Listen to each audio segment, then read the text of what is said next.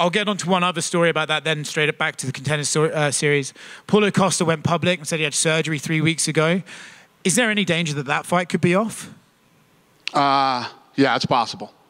When do you think we'll get a verdict on if he's going to be able to fight or not? Very soon. Okay. Very soon. Is there another Unless another fucking big mouth pops up out of somewhere, and you know what I mean. So yeah, hopefully within a couple hours, I'll have an answer for you. Okay. Obviously, just broke the news with Volkanovski and Islam, but Ilia Topuria made an appearance on a Spanish show earlier this week where he got asked about his next fight. He said him versus Volk was almost a done deal for January in Canada. Can you confirm that that was the original plan? Him versus what? Volkanovski was the original plan for Canada. Uh, yeah, we were talking about that. And uh, what do you do now with that Canadian card? No, I just came from the matchmaking room. We just got this done, and we just put on fights. I don't know. We'll have to see. And uh, speaking of the matchmaking room, the UFC posted a video of you and uh, Joe, the guy who won the matchmaker sweepstakes. You mentioned that you were going to make some fights with Joe at the matchmaking meeting. Since you broke some news today, could you care to share some of the fights you guys made? You want to know how fucking good Joe is? How good is he? I just hired Joe. Fucking really? Joe works for us now. Is he going to be one of the matchmakers? This fucking kid is awesome.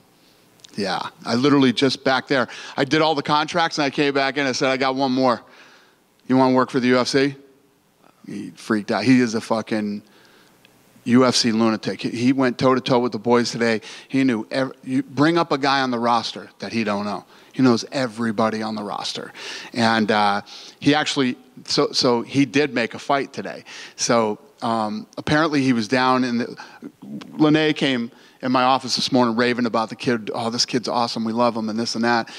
And uh, he met a bunch of fighters uh, in, in the PI today, and one of them was Cody Garbrandt. And, and they were talking, and I guess Garbrandt said, Listen, if you're the matchmaker for a day, I, I want to fight in December. So he came in and started pitching us on fights for Cody Garbrandt in December, and he made a fight. Could you care to reveal what fight? Nah, we'll let it when we're ready. But I don't want to say it before the fucking kids even know that they're fighting. You know what I mean? But because they don't know yet. But uh, yeah. So Cody, good work. You, you, you got it done. He's fighting in December.